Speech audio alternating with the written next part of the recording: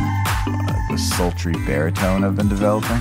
Yeah, is this from your uh, battle against the 10 year olds at that hotel you stayed in? Oh, I wasn't, honestly, man, I wasn't going to talk about it, but you just let the fucking lion out of his cage, Oh, and boy. now I might have to talk about it. Well, so, uh, okay. You missed an So- episode. You were traveling. This is what happens. Yes. It's been it's been a while since I've got to I've got to tell a, a, a birds was traveling story. Anyways, I was uh, staying in a town at a hotel where that hotel happened to be the main hotel for that city's uh, hosting of the state high school basketball championship. And Wow. you know what? Good, good, good, good for those basketball kids. Good for them. However, they were all staying at this hotel. Not just the kids, but the the families, like the extended families. Sports families So- suck. I mean, it's it's you know you got to travel. It's a commitment. You you put a lot into it. Like I my, my sister like traveled all over for soccer growing up, and I just ignored Yeah. all of it. Um, but here's the thing: you're just in a hotel that's packed full of that many people, and like a good thirty to forty percent of them are teenage boys. And look, man, you were a teenage boy. I was a teenage boy. It's it feels like it made more sense at the time to be like that than it does now looking at it. But yeah. Yeah. just the like, wouldn't it be funny if in the middle of the night at this hotel we just like leaned over the balcony and yelled things and then giggled uh, and ran away like little babies? Um, but man, the thing that will that will just I will never come back from. I swear, I walked by a hot tub in the middle of the day, mind you. This was like ten in the morning Okay. walk by the hotel hot tub, and in that hot tub are two adults. Sure, fine with me so far. Uh, and then, no joke, I'm not exaggerating. This number does not change each time I tell it. Eight kids, like, like ranging from maybe eight on the high end to two or three on the low end. I swear, one of them was wearing a swim diaper. They're just like, What? what? What do kids? I, kids don't sit in hot tubs. I When that hated hot tubs when I was little. I was like, this sucks. Why do I want to do this? Yeah, exactly. Right. You swim, you jump in the pool, you like run around, and they tell you to stop running. And um, those kids were just like hung out in the hot tub, schwitzing away like old men. And the I, I also walked by like two hours later when it all cleared out, and like the water was just the color of milk, and it was it, it was it was just ruined. It was just ruined. The color And- of milk. yeah, right. You, you know the old color of water that it's not supposed to have. Uh, yes. Oh man, so um, but yeah, it was a good week. You know, I talked all week, and then um, we went out last night, and uh, that was fun. Yeah, went to an art show. It's cool, man. Cool. This artist, she did this like she would compose screenshots on her computer, and that'd be the first step, and then uh, like painstakingly transcribe them with watercolor into perfect recreations. And it was just so compelling. So is- like Hmm. there, well, there's that's the thing is you you see like when you can see someone's screen, not like in the middle of the day, like it's it's a candid almost. You can tell so much about them, like not only what tabs they have open, but just you know when they've got iMessage opened up in the last message from everyone they've talked to. Um, the fact that it's uh, two thirty in the afternoon and their battery life is eleven percent, like it it tells a story. And then the, just the technique of it, it was cool, man. I've Um, decided that if there's a person who lets their phone die during an evening event, like when it's still not close to midnight, I can't trust them. I agree. My friend was telling me about a guy. Well, I don't. Irrelevant how this came up, but the the idea was that someone's phone died in the middle of like uh, an after work party, and I'm like, no, that person is too unstable to be trusted. They cannot care for themselves. Stay far away. I think even one year ago, the rules would have been different because, like, you know, we're all still learning how to fit smartphones into our life. but uh, yeah, yeah, if you don't have the battery pack, just ready to go, just in case. If you don't have a second charger, My phone charges in four different places throughout the day, pretty regularly. four different places. I was listening to somebody talk uh, on the radio about how she gave up tech, but before that, she said, "Yeah, every night, like I would just be on Then my how phone is she until talking on the radio? well, okay. good point. Good point. Good point. Um, well, no, she just described lying in bed at night and being on her phone until the battery died, which Uh, is crazy. that's because wild. bed is where you're. Char- okay. Okay. Yeah, and Uh, also like we- I don't want the feeling of like, well, I know my phone just died and I really want to go to sleep. I need it to be alive before I can close my eyes to know that it's going to wake me up. Like I'm just going to throw it on the charger and wake up when I wake up. It's insane. If you if you don't have um an outlet and a charger by your bed, that's fine. it means your room is wrong. yeah, burn your room down and start over. Move just- your bed. or just rotate your bed around, out. yeah. It's unbelievable. Okay. Unbelievable. Welcome to Crucible Radio B and B for uh. Birds and Bones. Even though Birds Oh. thought he was Swain for a second, Swain's not here. yeah, I knew you were bones. yes, you I got get, that I get points right. for that. I get It's wild you confused yourself and not the person you were talking to. That's like projection or something. I don't know. You just want to be Swain. We all kind of know that. Everyone, Yeah, right. everyone kind of Who- wants to be Swain. kind of doesn't like? I don't want the bad parts of being Swain, like when he has to work twelve hours every day for Yeah, a and week and exhausted on the weekends. podcast. Yeah, Um, but uh, yeah, the the part where he is cool, uh, I I want that part. I like that part. right. Well, we're going to talk about Destiny Cool. the whole time. Uh, Would it be Big fair sigh. to say that? Well, it's just. I mean, it would be fair to say that like. It's not a so what have be an up to in Destiny? It's like, yeah, you know, we kind of took a little break coming back to Destiny. Is yeah. that accurate? Yeah. Yeah, I mean that's for sure. I I'm trying to think of the time I played Destiny, like before this season, and um, you know, I, I did like a, a little bit of Crimson doubles with our pal Moonvault because uh, doubles is really fun. Even though fun. there was like not much, I got the bow. There was that special bow. I was like, yeah, I can knock that out in an hour. Yeah, that's the one to get. Um, but you know, like I wasn't gonna grind out comp, and yeah, it was kind of nice. And plus, Apex came out, and so it was a it was a good moment to just like play something that was new and exciting, and uh, work on some different skills. You've been well, you've been. We've been really enjoying the the Apex and it's a shooter with a different feel, but you just kind of spend your time in a shooter and then you go to a different one. It's it's a bit of a shock to the system. After having played so much Apex and coming back to Destiny, anything that I mean, it, on one hand, it feels comfortable, like, oh, right, yeah, I'm back in the saddle. I know this, Mhm. but any any adjustments coming back to it? Uh yeah, I think like weirdly enough, I was a little bit uh slower in the like multi-kill sort of thing. Like those apex engagements are pretty long and i think it if anything it trains you a little bit of staring and following you're tracking one target where in destiny you kind of need to track it for half a second and then give up if it disappears Mhm. and then find a new target. Uh, but I actually had messed with my DPI for Apex and I played a couple times Destiny at like a 400 with a three sensitivity in game. And I was like, I can't do it. Like it worked at range really, really well, which is, you know, kind of important in Apex, especially with full auto guns. Uh, but I couldn't shotgun and was just missing some up close shots. So I went back to the 800 with a no, sorry, it was 400 and a six in Destiny, and now I'm back to 800 and a three. And I switched that in the middle of a comp grind last night, and it was like, oh, this feels right. And Yeah. that felt it was it that was the uh, oh back in the saddle feeling once I was back on my good settings, and now I just have to figure out how to do that on my mouse each time I play Apex and Destiny. Well, your mouse has got a bunch of buttons on it. I'm sure there's like a switch that button. Yeah, well, I got the profiles, but the DPI button, which I think is the button on the mouse that switches, I use that for my class ability and for my uh, tactical ability in Apex, so I can't use it. So I'm just opening the program and manually doing it each time. But I'll I'll figure it out. I'm You'll a smart it out. guy. Well, and and yeah, I guess I guess that is the one thing that uh if you've got a need for like that close quarters engagement, like getting up in people's faces and spinning around real quickly with a shotgun while sliding. Um, yeah, it's a Destiny thing.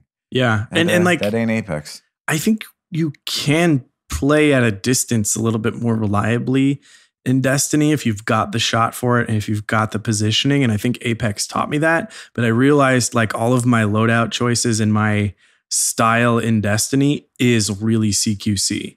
and it's kind of funny that I wasn't immediately into that in Apex, but like my Titan build, my you know reliance on the melee health regens with Sentinel, uh, you know all that sort of thing. Like I was like, okay, I'm great at range, but when it calls for some for getting across the map really fast and pushing, uh, I needed I needed to look a little left and right a little faster. So it's funny how it kind of pulled Yep. me right back to that CQC style.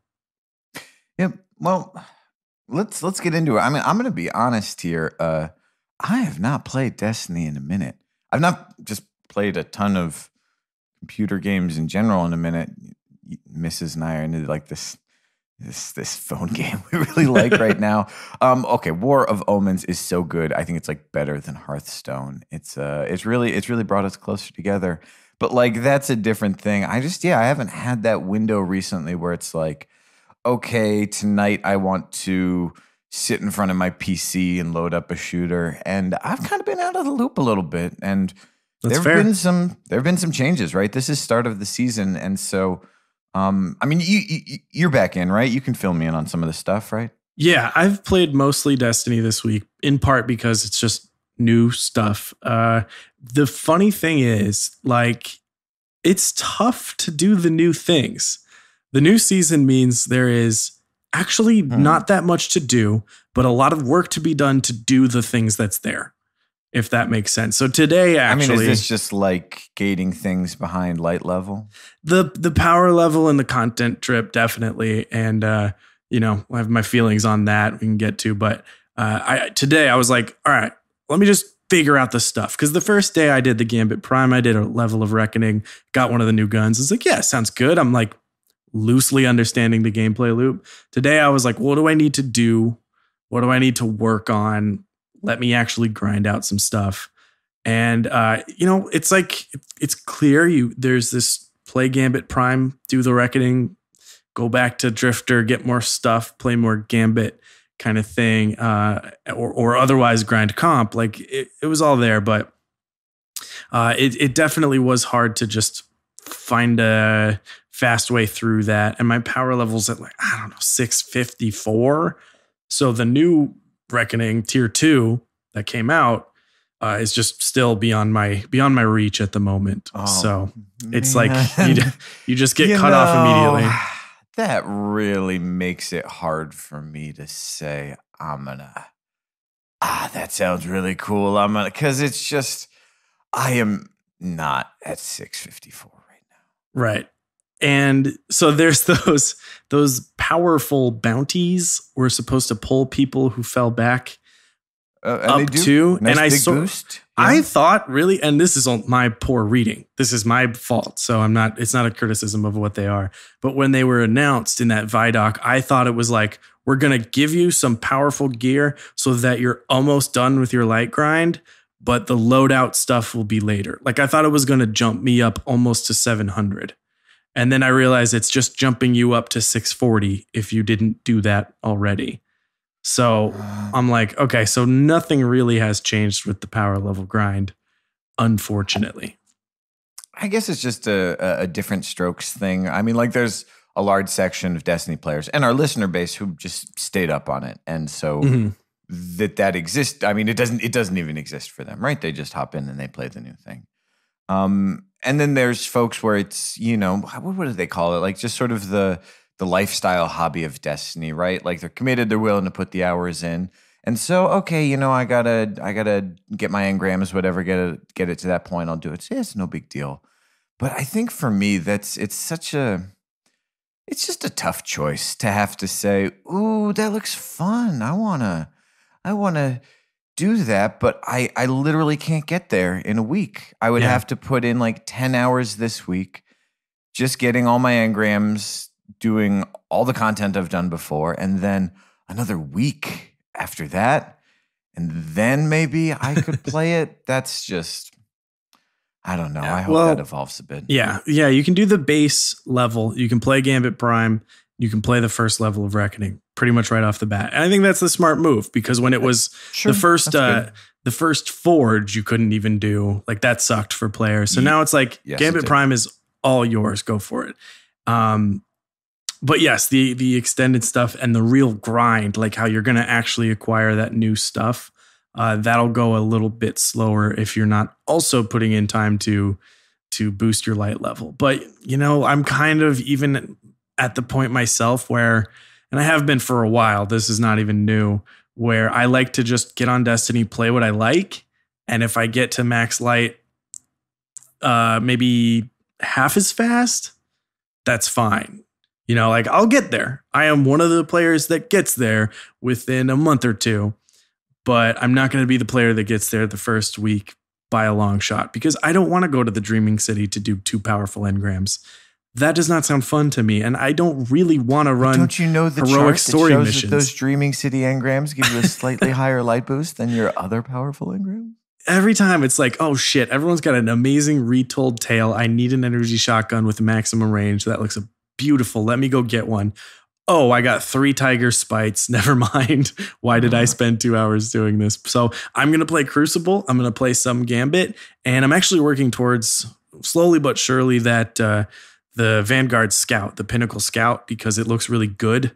But I'm not going to be day one, you know, getting that bread, as the people on Twitter say. So I can get to max light by playing those things. It'll just be marginally slower because I'm not going to just do all of my milestones. Fair enough. Okay, well, there's um, let's be frank. There's a lot you're going to have to catch me up on. Let's start off with these patch notes. Um, we see changes to weapons. We see some changes to uh, well, plenty of the exotics, uh, Titan skating, uh, some other stuff. Oh, well, let, let's start with the Titan skating thing. Did you ever you ever do that thing to like get the macro set up and and do the real quick, however that was? as a Titan main, and I'm not even trying to like be uh boast Phil or be on my high horse. I've never tried skating in Destiny 2. I don't know why.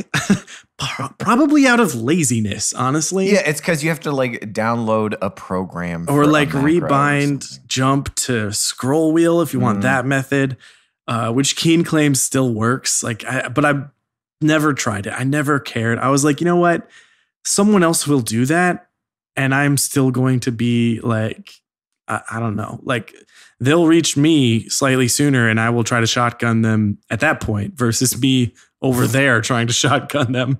Uh, it's absolutely powerful uh, if you know what you're doing with it because I've played comp with guys who did it beautifully and, and are in position super super fast. But i don't you know it wasn't that easy like oh if just click titan and then uh, set up your macro and you're a god. Like you'll have not forgotten immediately. Uh, it was at least never that.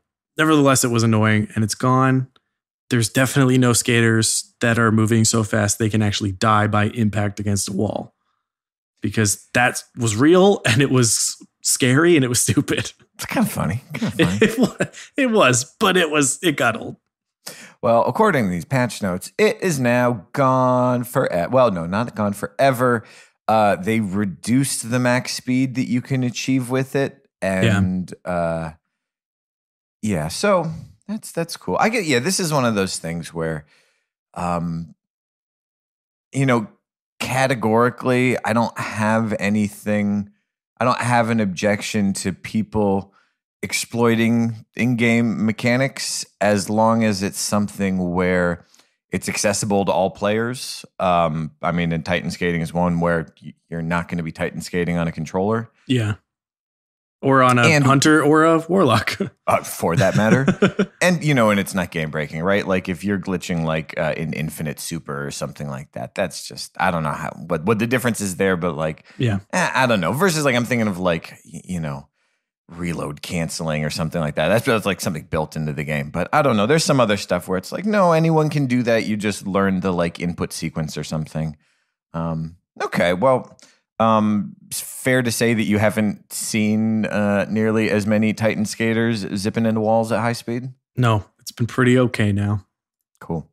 Uh, all right. Well, let's get into these patch changes. Um, I'm curious to know, and this is always the interesting kind of delta of like we read these things and go, oh, huh, huh, that's a thing, and then it feels like as often as not when you actually play it, you're like, oh yeah, that's subtle. I wouldn't, Mhm. I wouldn't really notice it.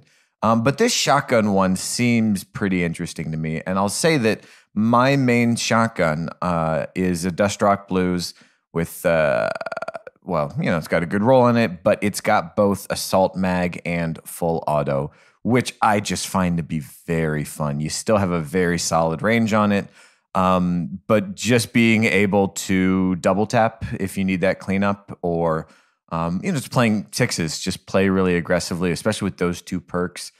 That was nice. And so I guess the first one I'm wondering if you if you got a chance to feel it. That changed from full auto from 100% speed boost, so basically doubling your rate of fire down to just 10%. Have you have you felt that? Yeah, yeah, I think actually everything on the shotguns has been very noticeable. The fire rate got changed on all of them and you can feel it a little bit. Uh it's not at least with the ones I use in Crucible, it's not like the full auto or the slower rate of fire by 10 points or whatever is like losing me fights, you know? Mm-hmm. But I, I use Parcel of Stardust in the, the kinetic slot, and that's a very, uh, it was a high rate of fire shotgun. It was not the full auto, uh, but I think it was 90 or something like that. Now it's 80. And I could tell, like, I wasn't getting easier second shots. Like when I missed my first one, you just take one more and pretend like it was clean. Uh, yeah. That that was not as easy, and I definitely realized I was being a little over aggressive, thinking I had tons of time to take two shots or or try to immediately follow up.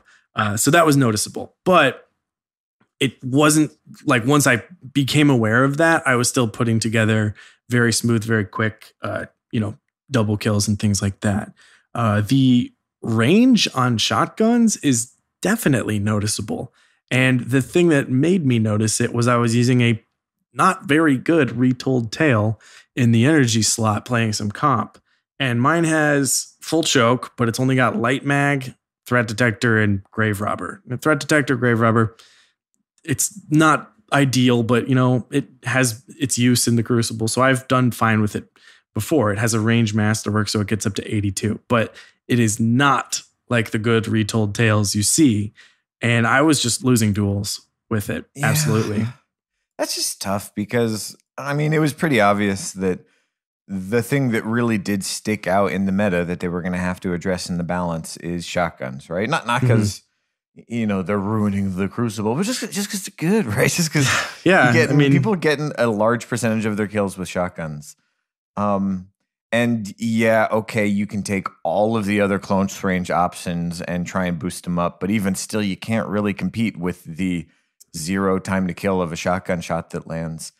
And all of the ways you sort of have to manage a shotgun of like restricting ammo, restricting rate of fire, reducing range, kind of none of them feel that good if you've really embraced shotgun play. I definitely that was always sort of a frustration for me when I'm used to my Dustrock blues and then switch to uh, you know something else that is just that much slower and going ooh boy this feels clunky. And it, it does you know there's a skill component there so it does force you to really pick the shot. You can't just unload the whole magazine and be like oh I got two kills with it. Um but it also sounds at the same time like this change increased the max range you'll experience as a result of the quality of your roll to a wider band. Like there were just a lot of ways to get to like nine meters before. Right, and it right. sounds like that's just not the case anymore. You really need a good one. And that's, I'm going to have to go back to that Lost Sector and just make it happen. Uh, but I think, like, honestly, I'm not not even trying to bullshit on this. I think it really does make them a higher skill weapon. Like not drastically, yeah. but I think what will win is someone with the fast reaction time and good aim. And you know, whether you're on a controller or keyboard and mouse, I mean, there are people who are good with shotguns. And so I don't think this is just a change and think like, okay, well, shotguns are objectively worse now. I think shotguns are a little harder to use, is how I would define it. Well, welcome to Crucible Radio, the show where we tell you how to use things slightly more effectively when they're just not so easy mode anymore. Uh, anything else on shotguns, or you want to tell me what's up with SMGs? SMGs are are still like I think no, nothing's perfect about them. I've heard I've heard on console they are still pretty uh, unwieldy. I think the SMG to go with is just the Recluse, and that's why I'm going for it. Uh, I don't think they are suddenly like a top tier choice, but I think it's also one that some that not a lot of people are going to pick up immediately. We, just discussed the undeniable pro of a uh, one zero time to kill shotgun. Uh, so I think maybe people will start rotating their loadouts around and getting different roles and things like that. But the the recluse is absolutely uh, a monster. You can find good reviews on it from Cami or Drewski right now. They've already put theirs out on YouTube, uh, and the, it looks amazing. It does 25 to the head or body when the perk is when the perk is procced, as we like to say, and it's just really good. And so I think that's the one that will see plenty of usage. Have we, as a community, yet decided if we're going to call it the recluse or the recluse? I don't even know how I say it. I think I've said it differently each time. okay. I'm going to let me just put it out right now. Is uh, one way to say the spider versus the person? I feel like it's the same for both. Probably, right? That's a dumb question, but I, I mean, yeah. Look, you know, there's there's lots of words that we're all learning or being reminded of by Destiny, and you know, people, you know, you can say things how you want. Uh, that being said, I am Team Recluse, and I hope it catches on. I think that's how Childish Gambino says it in a song. He says Brown Recluse. There, hey, we're in good company. Yeah, people people don't mess it up when it comes to the spider. We're clear about the spider. I don't know why, but in my head, if I said someone is being a, I would say, oh, they're being a recluse. Uh, you could call someone reclusive. Right. Okay, so that's why reclusive. Yeah. That yeah, no, there's okay, there's definitely But they're the being a recluse? recluse. Um we're just gonna have to look this up. Damn it. Uh recluse pronunciation. Uh it appears they are both acceptable. Recluse. Recluse. Yeah, fuck that robot voice. Uh, both Recluse. are acceptable. Recluse. how'd, you, how'd you make it do that? Uh, it's easier yeah, than you good. think. that's pretty good. Pretty Just good. Google pronunciation, and it's the like function right below it, and it has a slow button for some reason. Moving on. Moving right along. Oh, and and that that's cool. I I hope um I don't think SMGs need to dominate or that you need to like you're expected to have one in your loadout like you did in you know, year one or a good chunk of it. Um, and yeah, it seems like the bigger part of it was just making some space with, with shotgun changes. So eh, if they're back in it, you start seeing them again. That's cool. That's cool. Um, Recluse. it's like the button says slow, but the voice is like and more annoyed. like, yeah. like they're like, how do you pronounce it? Recluse, recluse. No, how do you pronounce it? Recluse. I love it. Yeah. Well, don't don't make the Google, don't make Google angry, man. Um. All right. Well, and then we've got this last round of changes. I swear to God, if you press that recluse one more time, I swear to God. Um, the last round of weapon changes I think I'm interested in are all power slot I guess the first one is cluster bomb on rockets. yes. Uh, please, Birds. please. Okay, That's I. funny. Uh, That's funny. Please call me Swain. Um, look, I, yeah, I would say I was probably running a rocket launcher in PvP twenty percent of the time, maybe. And if I was, it was usually Wardcliff, but Cluster Bomb is nice in sixes, certain modes. It sure is nice to be able to just like drop one of them on a capture point and see what happens. Mm-hmm. But yeah, big change. They really pulled that in. Yeah, yeah. I mean, I don't I don't know if it'll like change the usage because I think like the beauty of a rocket launcher in Crucible is you just fucking put it on their face and it's gonna blow up and like you might even explode from it, but it's not about you know, gone are the days of those care- careful Truth and Gjallarhorn aiming, you know, like bank it around walls and things like that. It's just like jump up in the air and put it straight out in the ground. So those who use it will use it. Um, but yeah, a note on rocket launchers. This is probably more PVE, but the Wardcliff got this absurd buff. It's it it just deletes anything. we were running Nightfalls on the Nokris one or just regular strikes, and it's literally just like just use a Wardcliff and it disappears in a se- in seconds, in one second. It's the I don't know if they meant to do that. It's too strong, but it's Well, the no, delete button. They, they they boosted some stuff up. Like Acrius in PV became something of a of a delete. oh yeah, no, like there's Yeah. some good stuff, but Wardcliff is all you need. Okay, good Oh, to know. Let's let's let's go to this one because I still play Titan and I still use this. The one-eyed mask officially got nerfed.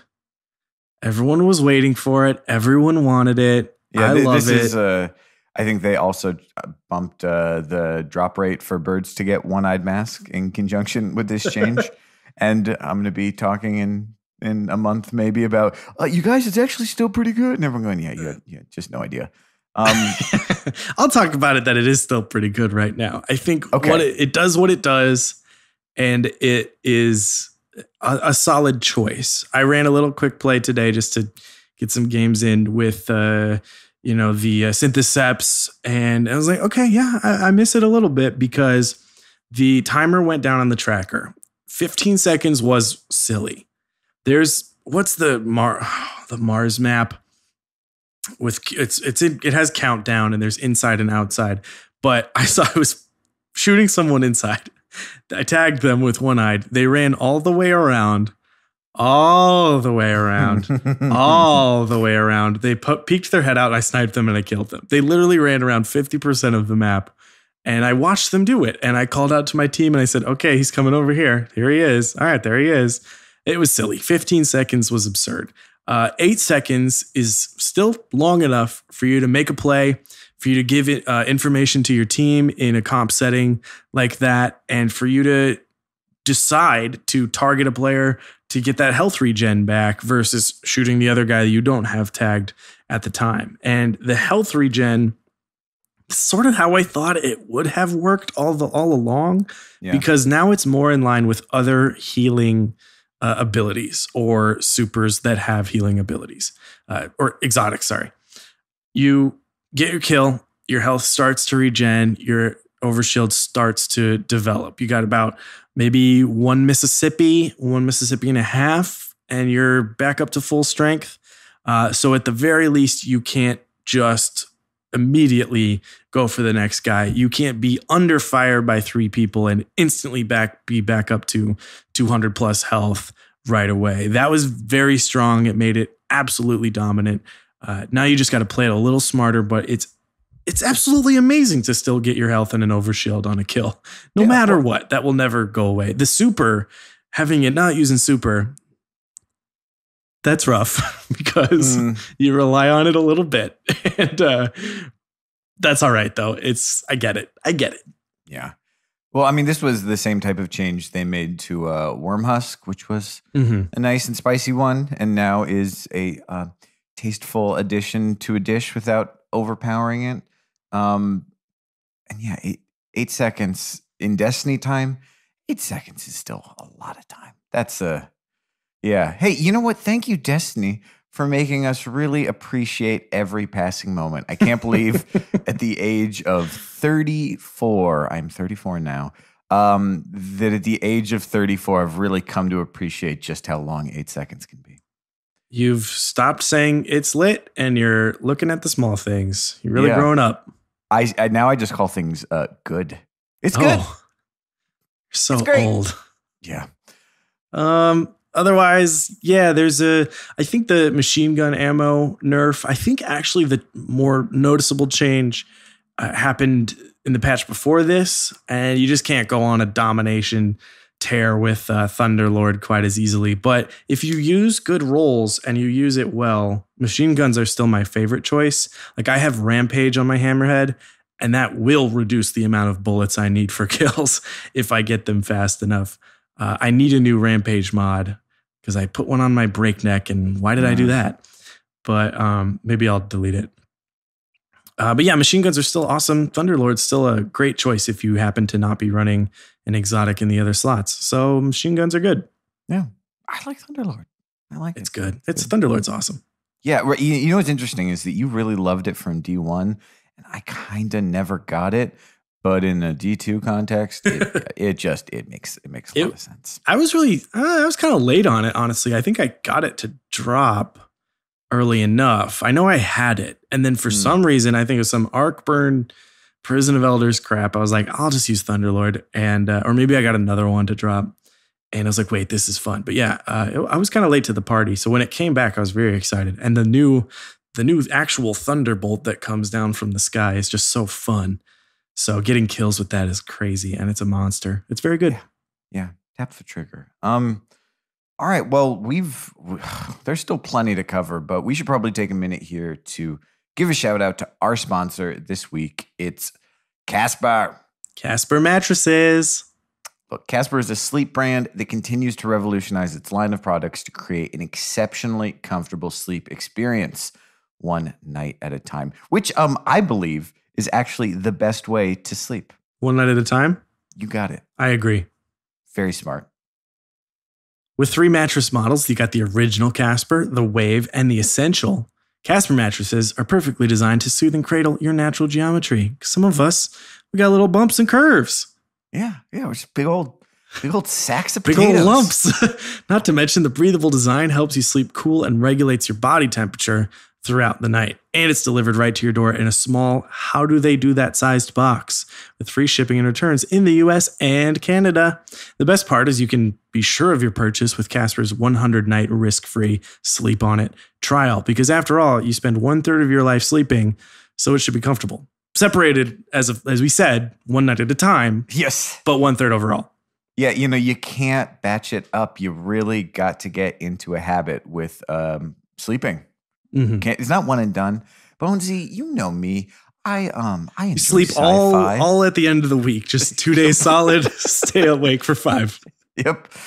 Yeah, don't bother me. Um, yeah, just set an alarm for 72 hours from now. Yeah. Hope your phone Um, doesn't die. Yeah. I think I have a charger. Call back. Um, no, man, I, I I enjoy sci-fi. I I like to I like to read sci-fi books. I like to watch sci-fi TV shows. And you want to know, I think one thing a hundred years from now that might be nice is that we'll have the experience of saying, you know what? It's a lot easier to get a good night's sleep if you could just turn gravity down by 30%. Because gravity ain't a joke, man. Hmm. Gravity's tugging on you day in and day out. And when you're sleeping, you yeah, sure you're horizontal, but you you notice it more so. And it's it's so important to have a mattress that is gonna gonna help you fight that fight that devil gravity and uh stay comfy, right? You gotta you gotta cradle the potatoes. Get $50 towards select mattresses by visiting casper.com slash crucible and using Crucible. crucible at Crucible. checkout. That's casper.com slash crucible. Offer code C R U C I B L E for $50 off your first mattress purchase. Terms and conditions apply. Gravity is the devil. Thanks, Casper. Okay. Okay. Okay. So this is the stuff I did not get to play this week. And honestly, I mean, just working continuously all week, I wasn't even catching up on the chat about about this. So you really get to walk me in to the season of the Drifter. I mean, I, Yeah. I'm thinking like, okay, that's Gambit Prime, and there's a a, a, a Reckoning and some other stuff. Um, but yeah, I mean, no spoilers. But yeah, walk walk me through it. Well, I mean, the loop is similar to Black Armor. You can see the pattern they're sort of creating here. Uh, there's activities to do, and you can get a certain reward from it. Uh, oh, by and by, I think competitive falls into one of the seasonal activities now because of the pinnacle weapons. Like, I just think competitive Gambit forges whatever i think it's on the list um so the but the glory has been doubled which goes for wins and losses so the time I actually spent is a little lower weirdly enough. It kind of feels sad to get like 80 points down when you lose but you get it right back. So that's one of the that's one of the activities right now i think. And uh, as far as the the new one uh, like i've mentioned before i think the loop is uh, surprisingly very similar to the forges. So Gambit Prime, at least on its own, is a pretty new activity. It's a nice change up from Gambit, and they're now two different playlists. in case you haven't actually looked at it, uh, which is cool because you can go play Gambit. And of course, it's got the new sudden death feature, which I actually just experienced today for the first time. If it goes to round three, it's just an all out battle uh, to melt the primeval. And unfortunately, I just decided to go for the invade. I got three kills, and my team just didn't do any damage to primeval. So the other team just rested and melted it. Uh, but I don't know what they were doing. But it's kind of exciting because it's like the the previous setup was so long, and you know, like you know what's going to happen when you're standing there in the the waiting room. You know, you're like, oh, we just got to go do this. There's no like which side do I have to run to, and they give you your super and everything. So it, it's pretty cool, and you got to just tune your loadout to that. So I liked that change. So what's up with this? Uh, like they got the roles now. They got like the four different things and the special armor. How does that fit into it? Yeah, so that's the Prime Reckoning loop. When you go play Gambit Prime, there's bounties, there's endgame rewards, there's all sorts of ways to get these uh, tokens or uh, items, whatever. And those items relate to those four classes Collector, Reaper, Sentry, and Invader. And over the course of three games, I got, you know, one or two of each. So, and I had a little bit more of Invader than I did Reaper. Uh, but there are a couple bounties where you can specifically go for that Reaper token or whatever it's called. Uh, so that that is pretty clear. You sort of just get stuff by playing, but also you can slowly but surely target the builds you want. So then you play Gambit Prime, which again, great activity. Little different. You've got uh, 100 motes to bank. You just do it once. Then you've got this uh, rotation where you've got to take down the envoys before you can damage the primeval, but you get a damage boost after the envoys. It's cool. A lot of invading and uh, it, great with the team because there is a lot of invading, and they don't just come from three points anymore. So you have to. It's it's almost a little scary. Like I realized I don't know where this invader is and don't know where to look. So you got to be on your toes. Uh, but you win Gambit Prime, you get your stuff, then you go to the Reckoning. The Reckoning is that that ball of stuff that the Drifter's been pulling around his ship.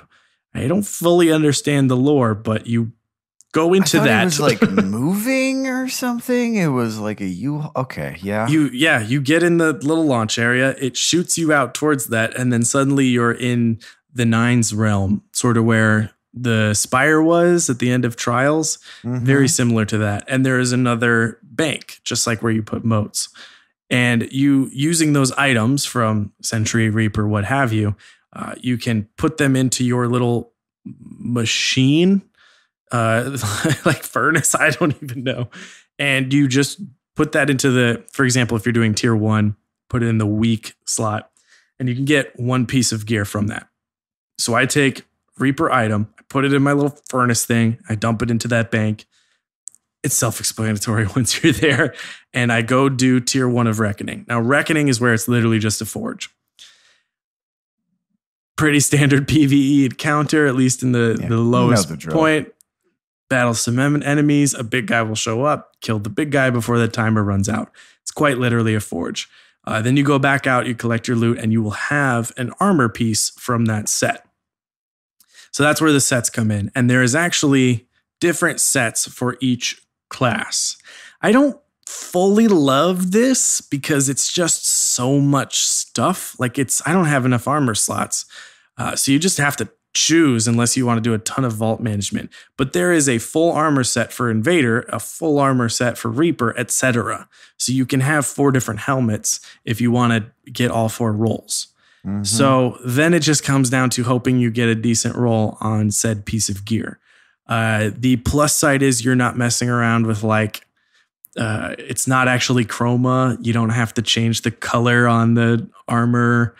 You right. don't have to, it's not RNG based. So you just use chroma until you get the right color or whatever. Uh, you just get it. And so that's nice. So if you get, do four reckonings, you'll get four pieces of gear. As long as you put in the right color at the start, you'll get that armor set and hopefully it drops you the stuff you need. Uh, so and okay, and then the armor gives you uh, a boost for when you're doing that type of thing. When you get the full set, you put on the full set, you'll get those perks, and then you head back into Gambit Prime where those perks uh, are are applied. So we're not going to see that for a while actually until people are really getting these full sets. And there's plenty of people on Twitter. Obviously, they've they've got it all. But I'm talking about the meta of Gambit Prime. That won't be there until more people have full sets. And then you got to actually discuss with your team like who's running what. You can have four invaders. There's no rules against that, but you're not you're not taking the full advantage of all the benefits. You know, that's never really been a Destiny thing that there's this idea that there are fixed uh definitive roles for Yeah. what a team is going to do, which is not to say, look, you know, if you're going into comp or you're you're going into, I mean, certainly a raid, you know, you're thinking about what subclasses you're using, you're thinking about your loadout and how that synergizes with your team. A lot of it just hooks into your play style, but there's definitely times where it's like, all right, well, we're going to need uh, one bubble at least. Who's going to do bubble? Um, but it's always been a much blurrier line than that. And that's always been cool, right? There's other games out there where no, it is very explicit. Like this is the blank character. And if I play as this character, you don't get to play as this character. You have to do something else. I mean, Yeah. lots of games where that's the case. You need a character selector screen, take your pick. Um, and so I'm curious to see how Gambit Prime ham- handles that. One thing I have to assume is that they've been, I don't want to say worried about, but certainly taking into consideration what sort of happened uh, the first time around with Gambit, which is that you just see this big gulf start to form between what a coordinated team is able to accomplish Mhm. versus what happens when you you know solo queue in and you just get randos because i can imagine once you know once it kind of shakes out there's going to be one or two of those roles that are really kind of the one that people like. Like you're going to see a lot of people with their invader armor set. You're going to see um yeah i'm just guessing like the mote guy is probably not going to rank up there too highly. Um it's it's the kind of thing where if there was you know competition for who gets to be the one to invade in solo queue now it's only going to be more pronounced when it's like no i've got the armor oh my god you can't believe you just took that right like i was supposed Yeah. to do that Yeah, we'll we'll see something shake out and, and decide really what the the final thing is. But I do think this is going to be uh, there will be some sort of meta versus PVE just being a solvable activity, and, and like that's been the reality. Even raids give you roles, but it is a solvable thing. You have Mhm. faster methods or whatever. Uh, but I want to see if this changes, and I think it will because if you go into uh, Gambit and everyone wants to invade or Gambit Prime, then you're I don't know you you actually are sacrificing some other benefits that your op, uh, your opposition might be using. So I think it could work. Yeah, I, I do think that just like comp, uh, there's gonna be there's there's like a ninety percent chance there will be an invader with the red armor on the other team. Like Mhm. that's probably gonna be the case. But will it be a benefit to have two sentries? Will one Reaper actually be good? Is two Reapers really good at getting 100 motes really fast? I think that's where we'll see slight slight changes, and that's really good for the mode. there's definitely a trade-off you make too where you know with original gambit it can be by, by the end you know there's sort of a one-size-fits-all solution. You see some variation in loadout or play style but really either you're doing the thing that everyone just knows to do at this point and is kind of the same for everyone with the exception of who's going to be the one to invade versus something where there really is some depth there's some complexity. Maybe there's no right solution. So let me be clear like that's a good thing. That's a good Mhm. thing right? That you can that we've got a game mode now where there's not going to be just this race and then sort of stagnation at the one size fits all solution. That's cool. We can acknowledge the downside that as we collectively start to figure out all of the different ways to do it, it's going to make playing with randos that much more frustrating because it's like, oh, you don't even know to like, oh, you don't even know to like not not invade quite yet until we, you know, until we see that they've summoned the primeval or whatever. It's going to be much more fundamental of like, yeah, oh, you just don't understand these mechanics. They're more complex. It add depth, but um, yeah, not people st- still gonna be figuring it out for a while. Yeah, yeah. I mean, that's the downside, but it might just be like high level crucible. It's like go in with the team or know that you're handicapping yourself. You know, that's Mhm. just the way it is. But That's the way it is. those PVE kids got to learn that too. Yep. Well, hey, we're we're we're all learning. Well, so I mean, I guess in terms of um, the the rest of the season that we've seen so far, there's there's still more to come, right? Like we don't Mhm. have Thornquest yet. There's I'm just looking at this image. There's there's some other other stuff coming. We've got new maps, all that. So eh, time to figure that out. But anything else specifically related to this season of the Drifter that jumps out at you? Uh, I do think that the Gambit Prime weapon set is fucking cool. Like, like these Destiny artists just make me want things because the art is incredible and the way they look is awesome.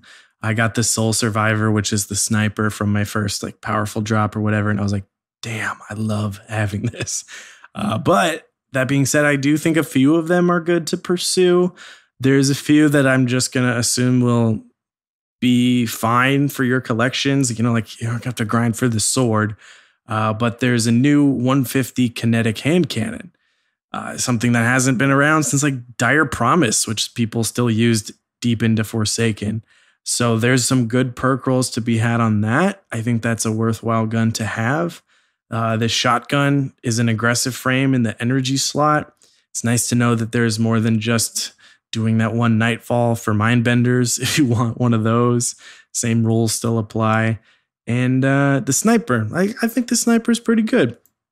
It's a uh, 90 RPM, so it's energy, Fate Cries Foul. Uh, but I've got opening shot on it. It looks really good. I don't like Fate Cries Foul or the sound of it, so I'd love to get a good roll on this. And uh, there's I, I don't know them off the top, so and we're not the source for this, but there's a few ways you can get the uh, masterworked versions of these in Gambit Prime. Like I believe Pope Bear tweeted that he just killed a high value target and the SMG dropped, which is pretty cool. So at least you can get them in one or two different ways. It's still going to be a grind loop, no doubt about it. Uh, but Gambit's the name of the, the name of the game right now, so might as Yep. well get some stuff. Well, and it's it is it is a still a big RNG grind loop, right? Like Yeah, it you're not is. gonna have too much luck saying, "Ooh, I'm gonna get this sniper rifle, so I'm gonna do X." You're gonna have to do X, and uh, maybe when you get a thing, it'll be the sniper rifle. Um, and that's yeah. that's okay. Maybe. That's how I got Um, my really good parcel of Stardust that I've not gotten uh, ever again. So just gotta happen to get a good roll. get this out of the way. Starsel of Pardust. I don't know why I needed to say that. Okay, Um, whatever. Yeah, it's it's not great. Um, so we've also got some new exotics in season of the Drifter. Uh, of- of course, there is there is that old thorn, that old thorn ours. But we also have a new uh, class specific armor exotic uh, for for each you hunters, titans, and warlocks, um, and some new weapons as well. What do you what do you into these?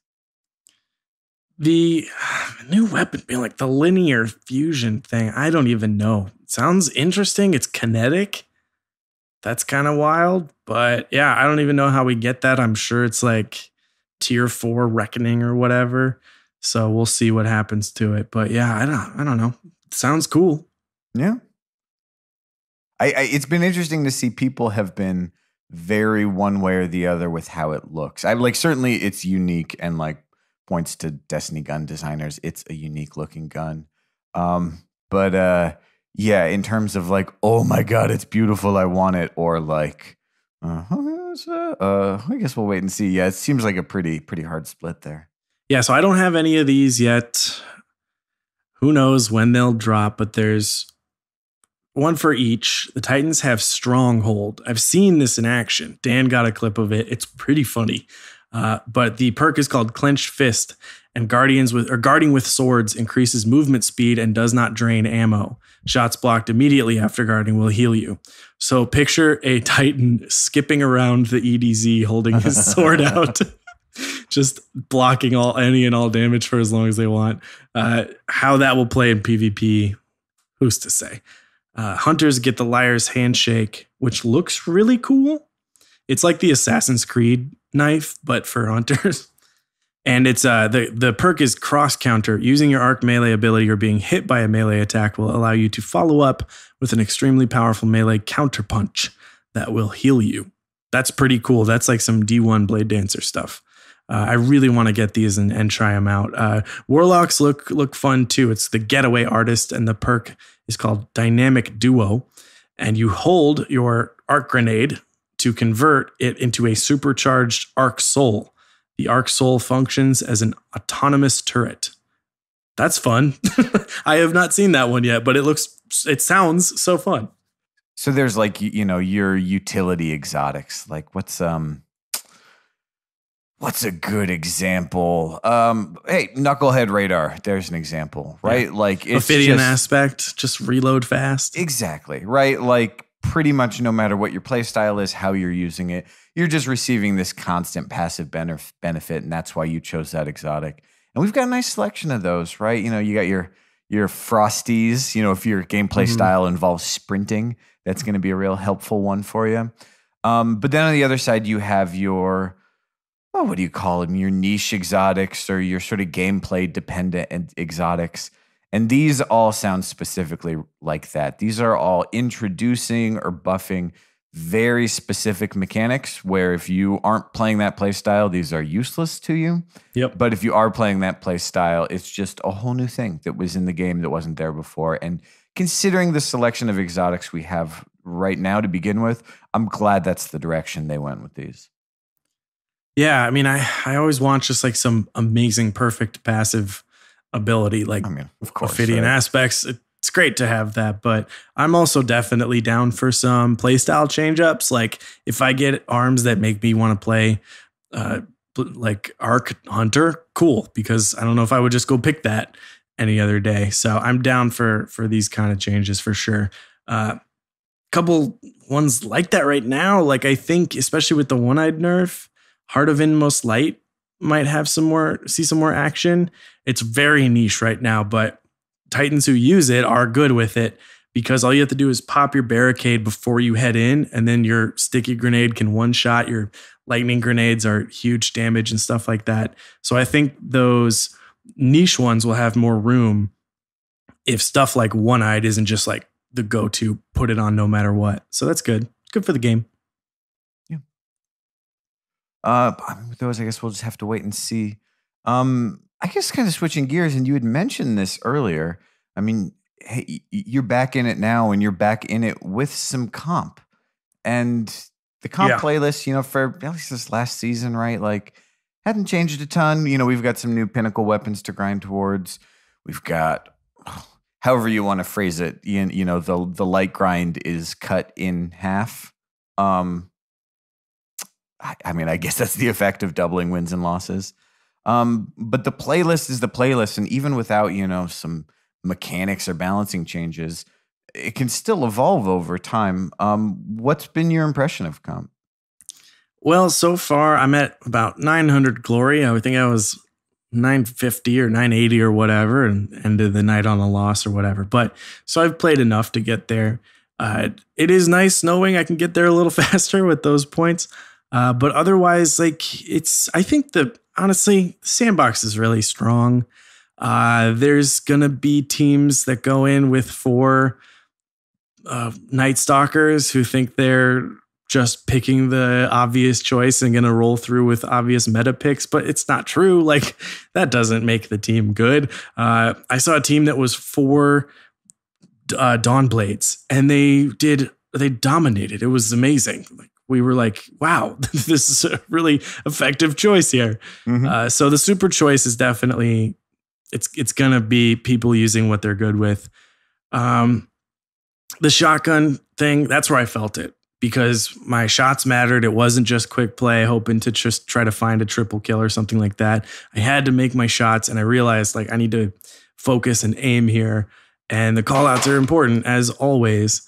Uh, the one thing that you know you're starting to see some people tweet about is the super mods because the competitive choice is to put five super mods on your guardian so that you get your super as fast as possible.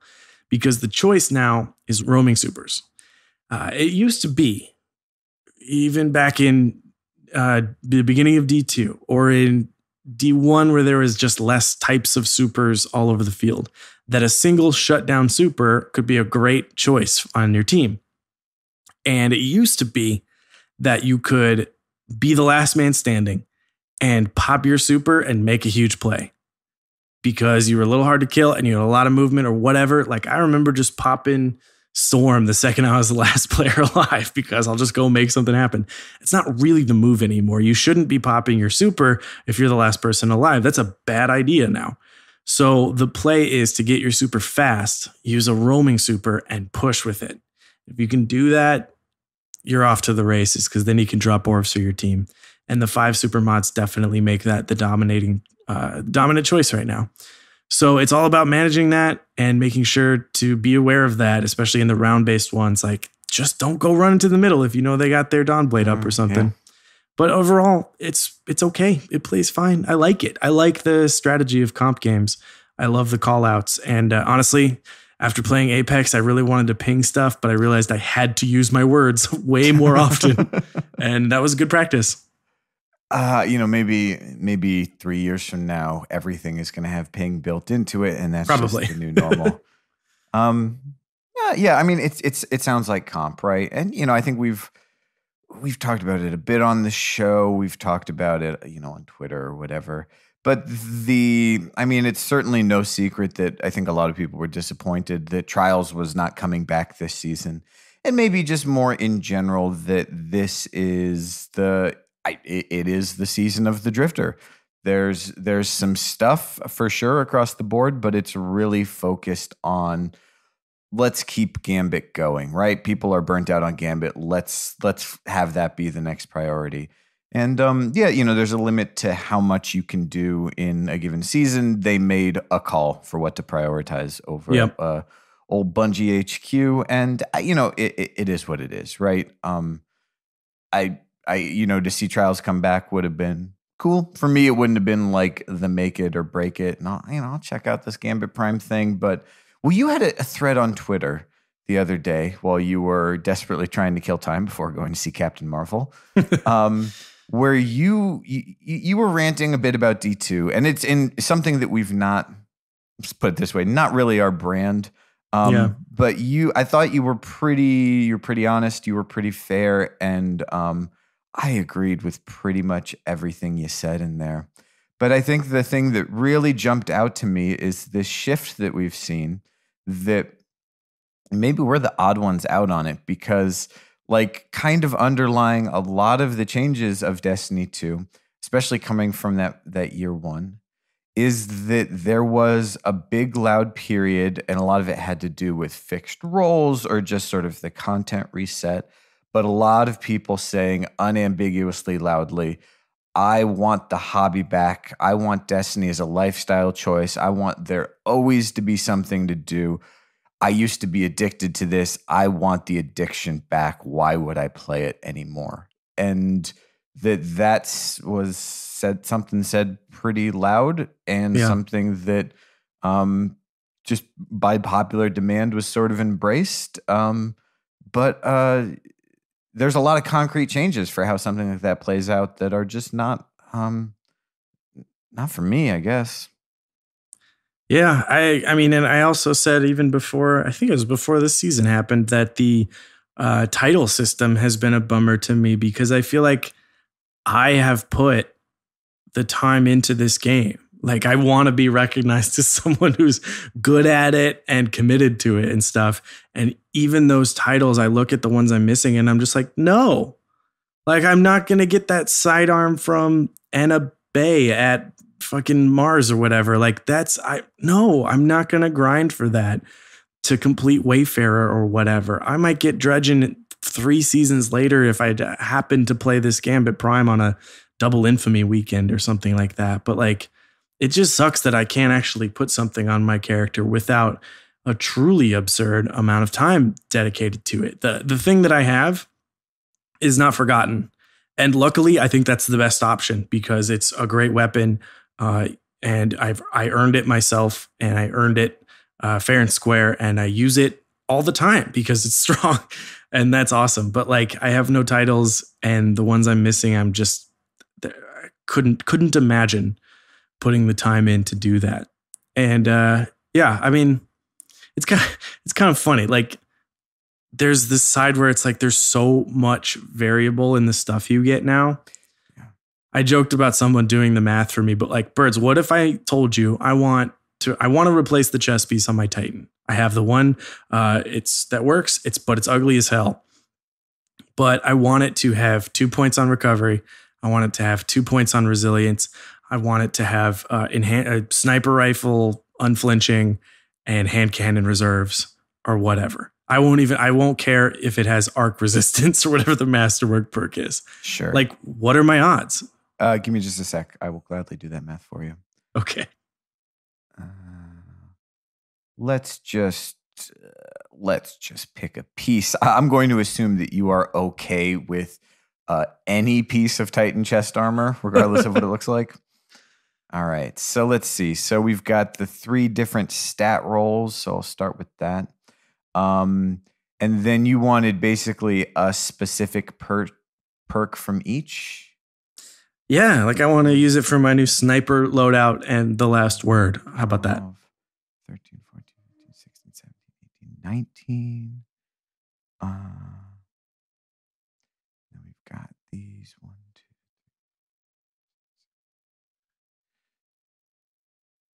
Um, okay, so this is for um, this is for a default piece of Titan armor, so it doesn't have access to the enhanced perks. So we're just we're just excluding that entirely. Um, and you're really going for that specific role of okay, you want the the sniper unflinching. Uh, okay, so for one of those to get the specific piece that you want, that's going to be, I believe, maybe I'm oversimplifying, but a one in 513 chance that you'll get that piece. Um, See? we we find uh you, you know we find that that um you're going to get a lot of pieces and maybe you could if you know you get that sniper unflinching that you need um although good fucking luck getting the enhanced uh unflinching sniper and that's going to be i'm sure well well into the thousands um that maybe on that second perk you know you can play around with your reserves a little bit um or you know you're okay with just special ammo finder or whatever And this is Um, implying a helm, a chest piece drops, and not like a helmet or an arms or a gun. That's right. That's right. You're looking at hundreds of chess pieces dropping before you find the roll that you want, and that's just for the chess. Just and that's your- in between thousands of other drops. Yeah. yes, and just for your hunt, or ju- sorry, just for your Titan. To be clear, Yes. You still have to Okay. on other characters. Um, and you know what? That is uh, a great way to make sure that people never run out of things to chase. Oh, that's uh, It- pretty well, good no, sorry, sorry, sorry, sorry. It is a way to. it make sure- a way. Um, you know, And I that- think yeah, that's it, right? That's it's a way, and it's not the way I really wanted. And you know what? That's the thing is like I was cool with it when Forsaken dropped. I played I played hundreds of hours of Forsaken. Yeah. it was awesome. There was stuff to do. There was new places. There was new gear. I did it all. I liked the random rolls again. I was like, fine. I got a cool drop. I'm excited for this one drop. I get it. That's the little boost I get. But like then the next expansion hit and then all my gear was useless for a little while and then i was wearing the same stuff because it was like two pieces of new armor.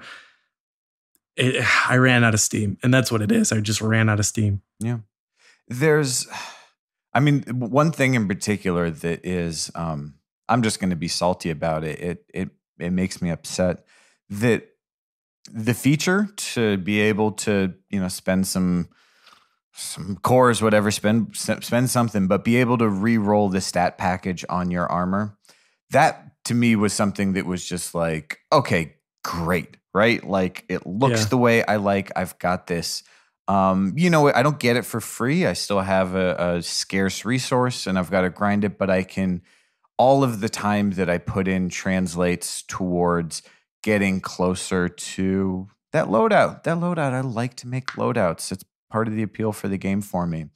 And the thing is, is that we know that like they have that tech in the game, right? Like it was already there yeah, it was there, and that they took it away as part of the random rolls. So, okay, it became fixed again. That was a big change. But now that the solution that they chose was, and you know, like I don't want to say like, well, it's the community's fault because it's not. But that they realized, well, we could put that back in. People might like that.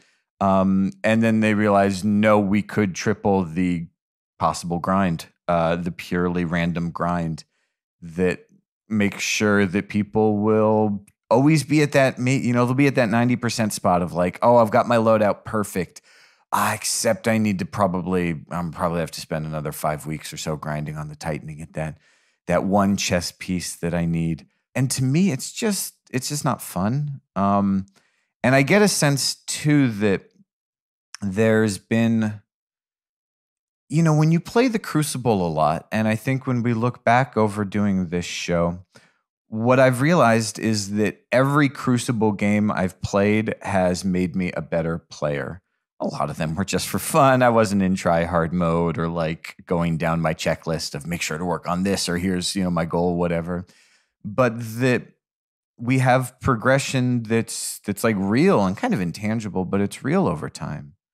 You Mm-hmm. build skills and you learn strategy and every game that you've played is now a game in the bank of experience that makes you better and that remains true i think but when it comes to gear the hundreds or thousands of hours you put in year one destiny completely irrelevant the hundreds and hundreds of hours that you know you've put in in previous seasons except for maybe the most recent no longer relevant. The thing that counts when it comes to D2 is how much time have you put into this season? Because it doesn't matter if you ever max your light out. If you don't max it out again next season, good luck. If, you know, Mhm. when the new hotness comes along or the change to the way armor works such that all the new pieces are just better than all the old pieces, which is fine but that is that is the checkpoint. You don't get to you don't get a coast on saying hey i've really spent a lot of time building up this account. Um you know you're welcome to use year one armor or to use fixed roll guns um but you're definitely you're definitely not in the same place. Um and that that's even season from season to season that's that's a tough pill for me to swallow Yeah, I get it. I mean, yeah, it's it's enough that you you know just did the math. Like it's enough to know I need to temper my expectations, and because it's easy for me to dive in. You know, uh, there's a reason this game is addicting, and it's uh, easy for me to just kind of fall back into that. But I've realized ahead of time I don't want to. Uh, to that degree, I want to play Crucible with my friends and get the recluse, but uh, the, the the grind loop is is too much, and I'm aware of that now. I think something that's been rattling around my head, and um, I don't want to jump the gun on this, but it seems fitting given the content of this episode. I just want to say it that um, the reality is, like in my life right now, I got other stuff going on. Right, I am in the middle of a job hunt. Um, I've got uh, y- you know there's there's just there's just things outside of the gaming world and even within the gaming world i'm just not spending a ton of time playing video games and the thought of jumping into destiny to play some largely familiar content is just not appealing for me right now and i feel an obligation you know we do a show about it that i got to stay up on things but at the same time a couple weeks back i did an episode where i just talked to my friends and family about stuff that was really important to me in the moment and that was pretty cool too so i think um we're gonna have to figure this out and this is something we'll we'll continue to to talk about because uh i don't want to i don't want to uh, leave you guys with a big check to write but um i i'm not going anywhere but i i don't think i want to play this season of destiny I don't like I don't like I'll ch- I'll check it out. I'll log in. I'm gonna play some Gambit Prime or whatever. But the idea of committing to staying on top of the Destiny grind this season, which means I'm gonna have to come up with like eight hours a week to put into Destiny, like Mhm. 20% of of what my full-time job takes already on a on a light week. That's that just doesn't seem right now. So We'll have to figure that out, but I think this season of the Drifter, it's a, it's got a nice theme to it. It's cool. It makes sense. It's going to be great for a lot of people, and I want to see it. But I don't know. Uh, I'm probably going to hop in to do whatever I got to do to get Thorn because like Thorn's great. Thorn's great. But when it comes to the big picture of committing to a season of content, um, Yeah, I'm gonna sit this one out. Yeah. That's so reasonable. And I, I feel like a lot of PvP centric players are, you know, thinking about the same thing or wondering what they're gonna do. And yeah, I, I mean, I don't blame you for a second, and I and I feel half of that way all the time. Uh, it's weird, but I guess I think what I can hope for personally is that obviously we don't know everything about a season just the second it drops, and that Black Armory brought some surprises and they learned some things from the not so successful surprises and other things like that. I have to imagine they have something up their sleeve that we're going to see something uh, appear that isn't uh, you know on that graphic right now. I, we don't even know what that uh, that spring event is going to include, and maybe they are hearing the the the cries for attention from PvP players and have something to to appeal to them. I can hope for that. And obviously, we're going to be right here. I'm going to play.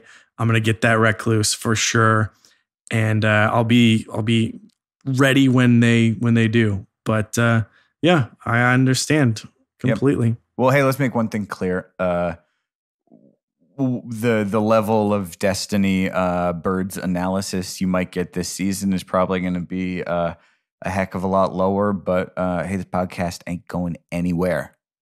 We're not going anywhere. I'll pick up the slack. Don't worry. Yeah, you're doing the. You're, it's thankless work playing video games for fun. I know it's rough. These hobbies of mine. Yeah, they weigh on me.